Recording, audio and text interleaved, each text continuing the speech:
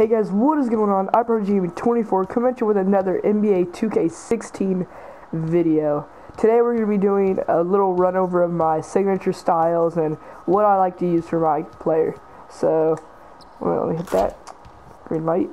Okay, so right here, first we're going to my attribute upgrades. I'm a shooting guard, I'm a 92, and if I were you making a shooting guard, do not touch rebounder. Go ahead and upgrade athlete, playmaker, jump shooter, and defender then go ahead and slowly move up inside. You can move up inside about three-fourths or half of the way, then do the rest on rebounder.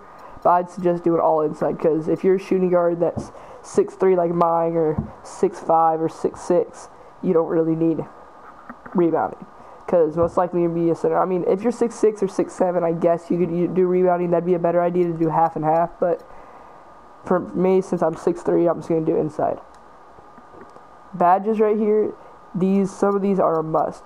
Deadeye, definitely a must. Fade Ace, Limitless Range, Microwave and Unfazed right here are both nice. They help a lot for Park if you're a good shooter and you be shooting a lot. Shot Creator is not a must. I just have it because I happen to pick it up while trying to get others. These right here, if you're trying to break ankles, these are the ones you want. These help you catch so many ankles. It's unbelievable. Behind the Back Pro, Flashy pa- uh, Flashy Passer, that's not one I just picked that up too. Hesitation Stunner, Killer Crossover, Master of In and Out, Pet Move Size Up, which is amazing. Spin Kingpin is not a must because you don't really catch angles with a spin, but it's nice to have just in case. You got Step Back Freeze, which definitely is a must. And then right here, you have to have it if you're going to be good at clamps and park. Perimeter Lockdown Defender. Pick Dodger is nice to have. pick pocket is nice, and I just picked up Transition Finisher. But like I said, the three best to have is Hesitation Stunner, Pet Move Size Up, and Step Back Freeze. So now let's get right into my NBA anime. For jump shot, I like to run LaMarcus Aldridge, of course, because you be getting green lights. Release timing, I got it quick. For my free throw, I'm pretty sure I have Steph Curry because it's a really consistent free throw. Dunks, you don't want anything too fancy, but you want to get fancy here and there. So I just got the under basket rim pulls, basket, basic one handers off one, basic two handers off two. Over here, I got the hangs off one, quick drops off two, and quick drops off one. These are both cheese. It's so much easier. You're not going to get blocked on either of those. Neither will you on this tomahawk right there, that straight arm. Then this reverse off one, reverse off two, I just have for looks. Every once in a while you get that good one, you get that switcheroo. You have the basic 360s and the cradle dunks. Then I have the historic Drexler. On my center, I do have historic Jordan because who doesn't want that?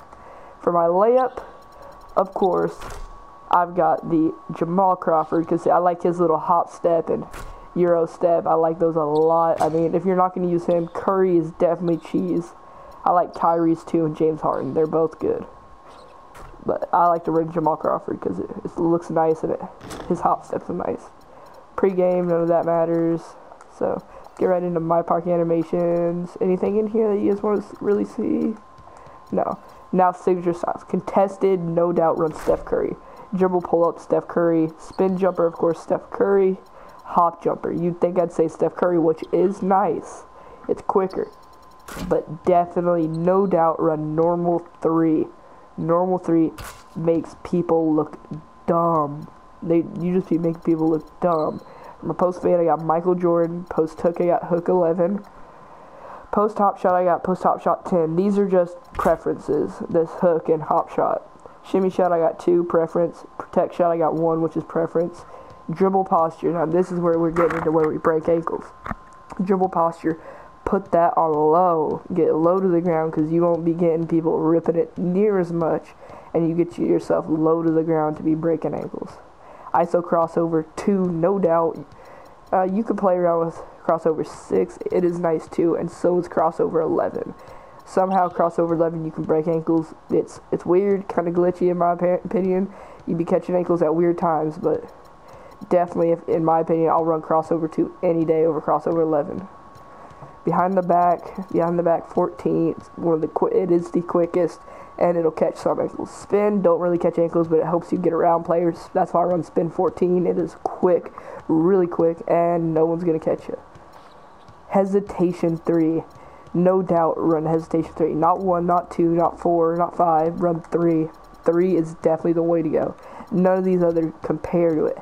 Hesitation four, on the other hand, like if you're if you don't want to run hesitation three like everybody else in 2K16 this year, go ahead and run hesitation four. But if you want to be like everybody else and catch ankles, run hesitation three. For my signature size up, that don't really matter. I run, what do I run? I run his size up 25. I would recommend also running 50. Where is it? There's 50. 50 is nice. Actually, I'm to put, put on 50 right now. It's got a little bit of Shammgod in there. So uh, ISO size up in and out. Of course, you got that Jamal Crawford. Nothing compared to this. This is what everybody used since day one. It'd be catching so many ankles. Like, ankles on ankles on ankles. It's just get a little space between them, just hit that at the right time, and they'd be on their butt falling. This Kyrie Irving did ain't bad, but it doesn't compare to the Jamal Crawford. I think it's this Tony Parker that's nice too. No, it's not. Is it Chris Paul? Yeah, Chris Paul can catch some. Now on this size up cross, I definitely run Chris Paul on this. It'll catch some ankles. So will this Kyrie Irving. They both create space. And then Steph Curry will create space if you're into creating space for the shot. And then guard one, I think it is. Let me check. Yeah, guard one to create space also. But if you want to create space and break ankles, definitely Steph Curry. I'm going to go and throw on guard too because it'll catch some ankles, I think. I just have that opinion. Escape. You cannot go wrong with Kobe Bryant. Kobe Bryant is when speed boosting was still a thing, that's the one you wanted to use, and you can still use it to just create stuff out of. And then, but if you want to catch ankles, just easily catch ankles. Just Kyrie Irving, no doubt, hundred percent, you can count me on that one. Kyrie Irving will break ankles. His escape is a glitch. It is cheese. It's a glitch. This Tony Parker ain't bad either. I, I just like it because it's kind of funny. It creates a little bit of space. This Chris Paul I like his. His will break ankles too.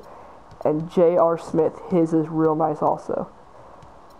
D Rose, his creates space, and it's kind of weird, but in my opinion, I'd run either J.R. Smith, Chris Paul, or Kyrie because they're all those little quick stops, and that's what you're going to be using to break ankles. Man assumes those don't matter. So let's get right into the moves right now. I'm not running any boost, as you can see, just to show you.